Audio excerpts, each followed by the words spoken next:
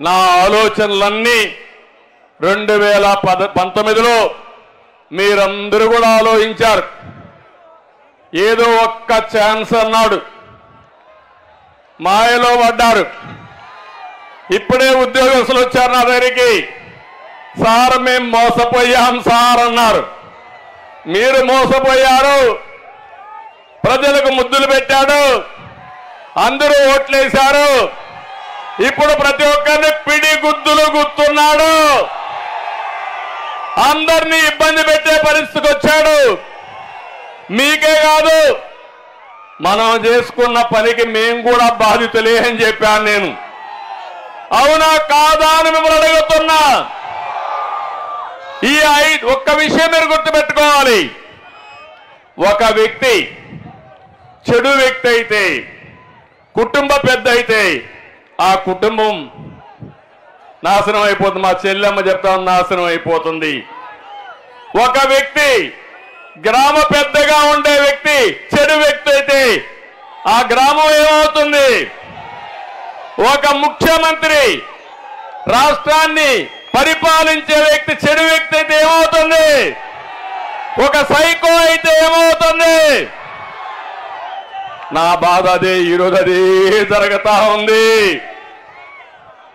మొత్తం రాష్ట్రం అంతా నేను చూస్తున్నాను. ఇప్పుడు మీరు చెప్పాలి ఐదేళ్ళలో ఐదు లక్ష ఐదు కోట్ల మంది అందరం బాధితులమే. ఏదో ఒక విధంగా బాధితులు. కొంతమంది బాగా సంపాదించే వాళ్ళకి ఎక్కువ ఆస్తులు ఎక్కువ ఉంటే ఇంకా ఎక్కువైనాయి. మా ఆడబిడ్డలు బయట వచ్చే పరిస్థితి లేదు. భర్త కళ్ళ ముందరనే మా ఆడబిడ్డలకు రక్షణ లేదంటే నిన్ననే విశాఖపట్నంలో ఒక దళిత మహిళ పైన పదకొండు మంది మానభంగం చేశారంటే ఈ రాష్ట్రం ఎక్కడికి పోతుందో మీరే ఆలోచించాల్సిన అవసరం ఉంది. నేను ఆ రోజు కరువు సీమలో కియా తెచ్చాను. జగన్ మాఫియా తీసుకొచ్చాడు. ఆ రోజు మన యువతకి ఉద్యోగాలు తెచ్చాం. ఇతను ఈరోజు యువతకు గంజాయి ఇస్తున్నాడు. ఇంకో పక్క మనం పెట్టుబడులు తెచ్చాం. ఇతను టెర్రరిజాన్ని తీసుకొచ్చే పరిస్థితికి వచ్చాడు. మనం ఐటీ ఉద్యోగాలు ఇచ్చాం. ఈయన ఇచ్చిన ఉద్యోగాలేంటి ఏ ఉద్యోగాలు ఇచ్చాడు? ఐదు వేల రూపాయలు వారంటరీ ఉద్యోగం. మనం ఇచ్చింది ఐటీ ఆయుధాన్ని ఇచ్చాం. దానితో ప్రపంచాన్ని జయించే శక్తి తెలుగుదేశం పార్టీ. నా తమ్ముళ్ళు యువతకి ఇచ్చింది అది తెలుగుదేశం పార్టీ సత్తా. బాధుడే బాధుడు మామూలు బాధుడు కాదు వీర బాధుడు నిత్యావసర వస్తువులు ఏమన్నా కొనే పరిస్థితిలో ఉన్నారా? ఏమమ్మా వంట చేసే పరిస్థితిలో ఉన్నారా మీరు? నిత్యావసర వస్తువుల ధరలన్నీ పెరిగాయి. బియ్యం దగ్గర నుంచి ఉప్పు పప్పు కూరగాయలు అన్ని పెరిగిపోయే పరిస్థితి వచ్చింది. సామాన్య మానవుడు బ్రతకలేని పరిస్థితికి వచ్చాడు. దేశంలోనే పెట్రోల్ డీజిల్ ఎక్కువ ధరలకు చిరునామా ఆంధ్రప్రదేశ్ అయింది. కరెంటు ఛార్జీలు తొమ్మిది సార్లు పెంచారు. నేను ఒక్కసారి కూడా పెంచలేదు. మళ్ళీ హామీ ఇస్తున్నా. సమర్థవంతమైన పాలన ఉంటే కరెంటు ఛార్జీలు పెంచే పని లేదని మీ అందరికి విజ్ఞప్తి చేస్తున్నా. ఎందుకు పెరిగాయని అడుగుతున్నా.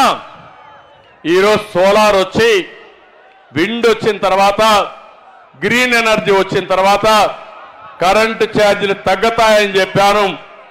దోపిడీ వల్ల కరెంటు ఛార్జీలు పెరిగాయని చెప్పి నేను మీకు తెలియజేస్తున్నా. ఇంకో పక్కన ఎక్కడ చూసినా పన్నుల భారం. విపరీతంగా పన్నులన్నీ పెంచేసే పరిస్థితికి వచ్చారు.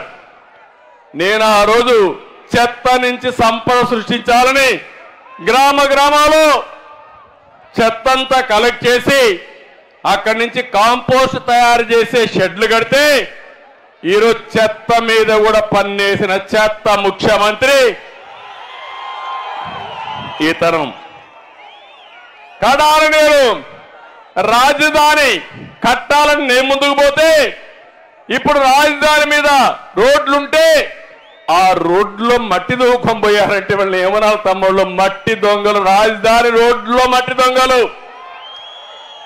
వీళ్ళు మనుషులేనా అని మిమ్మల్ని అడుగుతున్నా.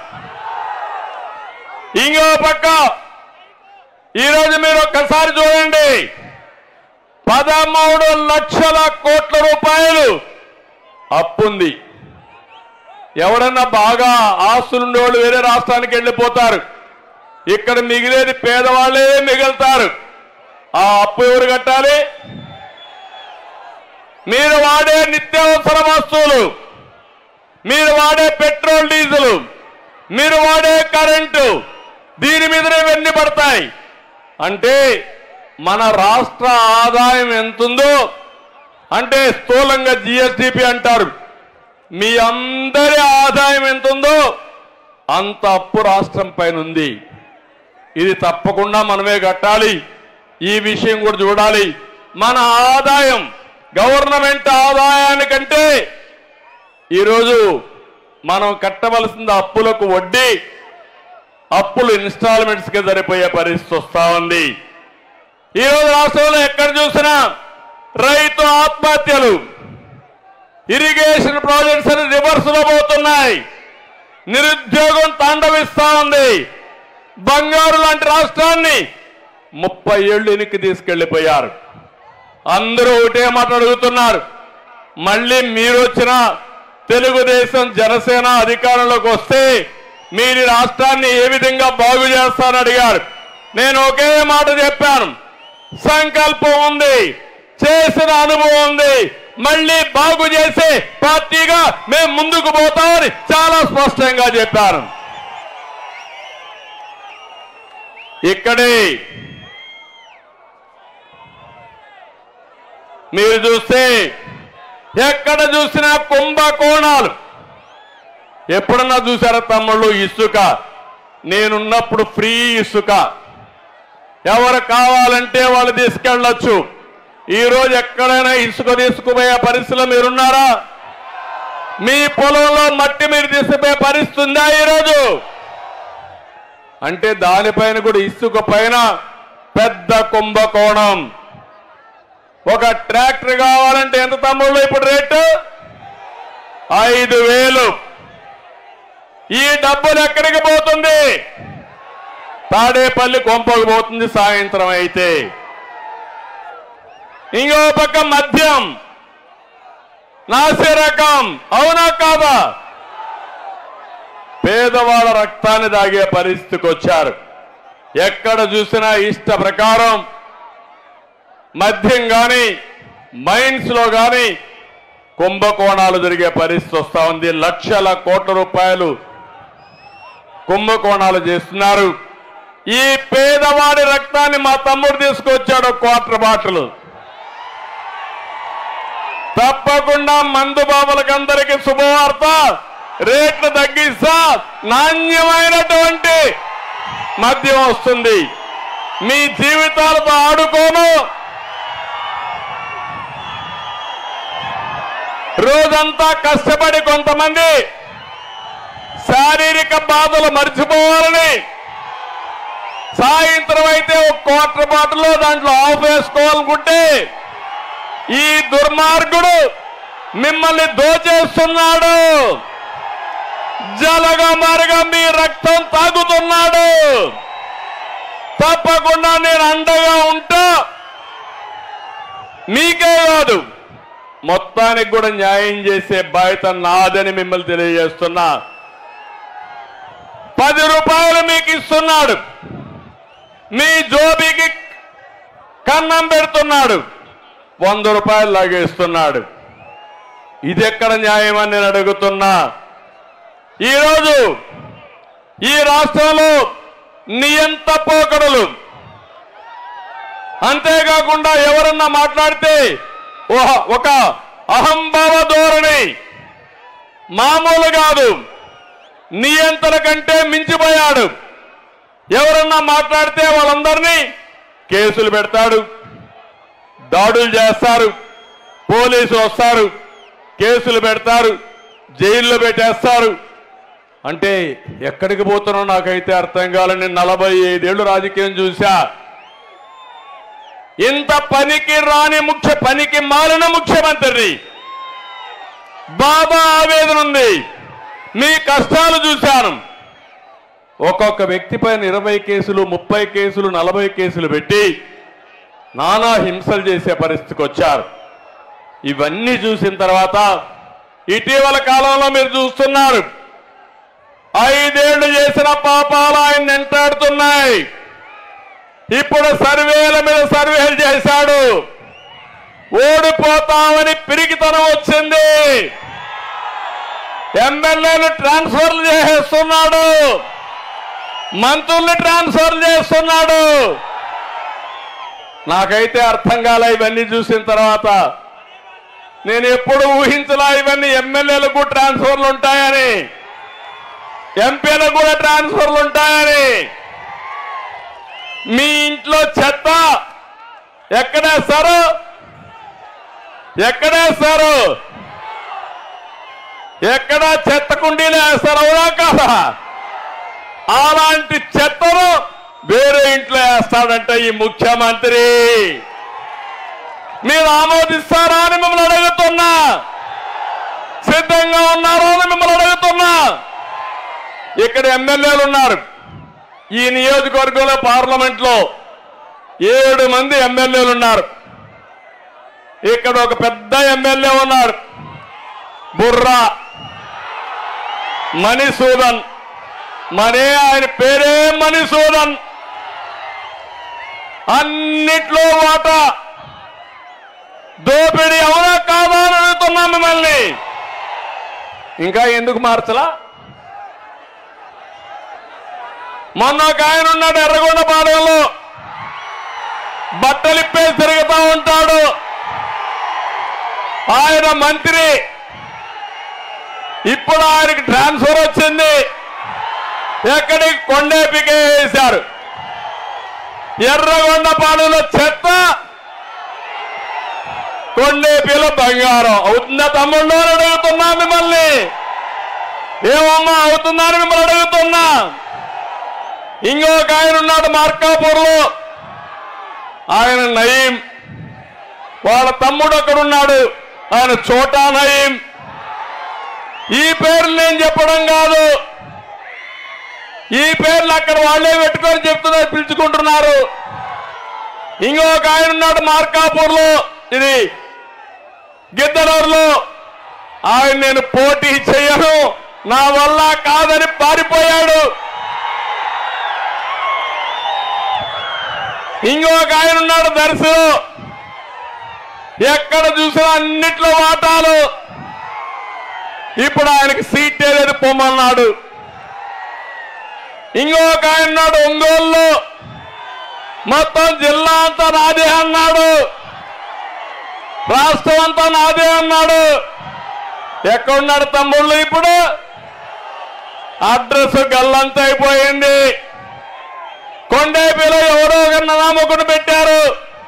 ఇప్పుడు ఆయన అడ్రస్ ఎక్కడుంది ఎత్తుక్కోవాలి మనం అందరం ఇది రాజకీయమా అని మిమ్మల్ని అడుగుతున్నా. సమాధానం చెప్పమని మిమ్మల్ని అడుగుతున్నా.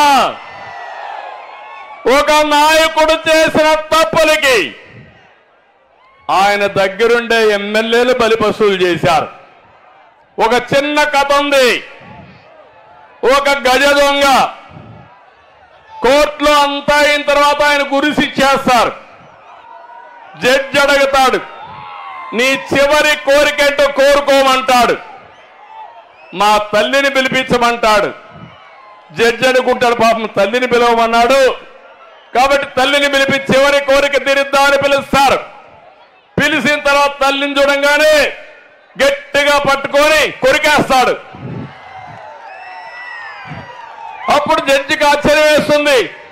నువ్వేదో తల్లిని పిలవమంటే నేను పిలిచాను. పిలిస్తే నువ్వు ఈ పని చేసేవేంటని అడిగాడు. సార్ కానీ నేను తప్పు చేసిన మొదటి రోజు చెంప మీద ఒక దెబ్బ కొట్టి ఇది తప్పని చెప్పుంటే నేను గజితంగా అయ్యేవాడిని కాదు. నేను తెచ్చిన దొంగ డబ్బులకి ఆనందపడిపోయి నన్ను పోవడం మొదలుపెట్టింది. నేను విచ్చలవిడిగా చేశాను నా తప్పు చేసింది నా తప్పు కాదు. నా తల్లి ప్రోత్సహించింది కాబట్టి ఆవిడే నేరానికి కారణం అన్నాడు అదే మరుగా తప్పులు చేసింది మీరు. తప్పులు చేయించింది మీరు. అవినీతి చేపించింది మీరు. వాటాల కోసం అందరిని ఇష్టానుసారంగా వాడింది మీరు. నిన్న కూడా చూశారు ఒక ఎమ్మెల్యే ఈ జిల్లాలోనే. నన్ను తిట్టాలంట. నన్ను పవన్ కళ్యాణ్ తిట్టాలంట. అంటే ఎంపీ సీటు కావాలంటే ఎమ్మెల్యే సీటు కావాలంటే ఎంత సేవ చేశావని కాదు. చంద్రబాబుని ఎన్నిసార్లు తిట్టావు? ఎన్నిసార్లు బండబూతులు తిట్టావు? లోకేష్ ఎంత తిట్టావు? పవన్ కళ్యాణ్ ఎంత తిట్టావు? దానిపైన సీట్లు ఇచ్చే పరిస్థితి వస్తే ఇంకా ఈ రాష్ట్రం ఏమవుతుందో మీరే ఆలోచించమని మిమ్మల్ని కోరుతున్నా. కొంతమంది ఎమ్మెల్యేలు అన్నారు. కొంతమంది ఎంపీలు అన్నారు. మాకు సంస్కారం ఉంది. నీకు సంస్కారం లేదు. మేము తిట్టాం. అవసరమైతే నువ్వు సీట్ పైన పర్వాలని చెప్పారు. వాళ్ళని గట్టిగా అభినందిస్తున్నా మీరు కూడా అభినందించాల్సిన అవసరం ఉంది. అంటే ఇవన్నీ చూసిన తర్వాత తమ్ముళ్ళు మీకు బాధ అనిపిస్తుందా లేదా అని అడుగుతున్నా. ఎలాంటి సంస్కృతి ఇది? అంటే నన్ను మా మిస్సెస్ని అసెంబ్లీ సాక్షిగా తిడితే బూతులు తిడితే వీళ్ళు పెద్ద నాయకులు అయిపోతారా అని నేను అడుగుతున్నా. నా జీవితంలో ఎప్పుడూ బాధపడలా. ఒక్కరోజే నేను బాధపడ్డా. నా జీవితంలో ఇరవై మూడు క్లేమోర్ మైన్స్ నా మీద బ్లాస్ట్ చేసినప్పుడు కూడా సాక్షాత్ వెంకటేశ్వర స్వామి నాకు ప్రాణభిక్ష పెట్టాడు. ఆ రోజు కూడా నేను భయపడలా. నేను చేశాను ఒక మంచి పని. ప్రజల కోసరం బతికాను. అందుకే ఇలాంటి వచ్చినప్పుడు కూడా ధైర్యంగా ముందుకు పోయా. కానీ జీవితంలో ఒకే ఒకసారి బాధపడ్డా. అది నా భార్యని అసెంబ్లీలో తిట్టినప్పుడు బాధపడ్డాను తమ్ముళ్ళు అని చెప్పి నేను మీకు తెలియజేస్తున్నా. ఆ రోజే చెప్పాను ఇది గౌరవ సభ కాదు. ఈ సభలో నేనున్నాను ఇది గౌరవ సభ. మళ్ళా గౌరవ సభ చేసిన తర్వాత ఈ అసెంబ్లీకి అడుగు పెడతానని చెప్పి శ- శపథం పెట్టి వచ్చా. నా శపథాన్ని నెరవేరుస్తారా అని మిమ్మల్ని అడుగుతున్నా. నేను రాజకీయం కోసం రాలేదు అధికారం కోసం రాలేదు. ఒక మారుమూల గ్రామంలో ఉన్న నేను పుట్టిన నేను ఒక రైతు బిడ్డగా పుట్టి ఈరోజు ఐటీని ప్రమోట్ చేసే స్థాయికి వచ్చానంటే అది మీ అందరూ చూపించిన ఆదరణ మీ అందరి సహకారం. అలాంటి దీనికి మనం ఇచ్చేసాం ఈరోజు మనందరం కూడా ఒక పక్క బాధలు ఉన్నాయి ఒక పక్క ఇబ్బందులు ఉన్నాయి. కానీ మనందరం ముందుకు పోవాల్సిన అవసరం ఉంది.